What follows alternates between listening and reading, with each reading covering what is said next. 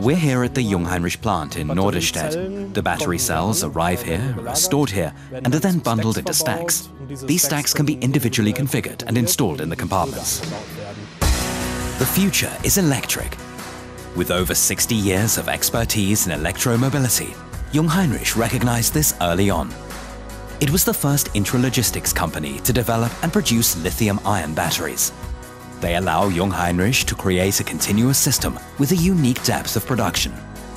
From control electronics to batteries to vehicles, everything comes from one source and is held to the same exacting standards of quality.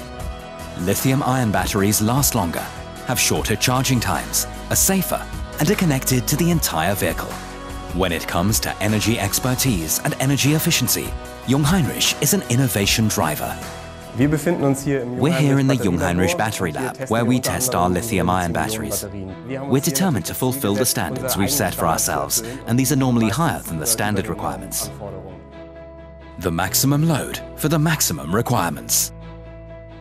When we're finished testing the battery, our customers can be sure that it will meet all the demands placed on it throughout its lifetime. Every part of the complex energy storage undergoes rigorous testing. This is how the lithium-ion battery from Jungheinrich is made. Innovation made by Jungheinrich.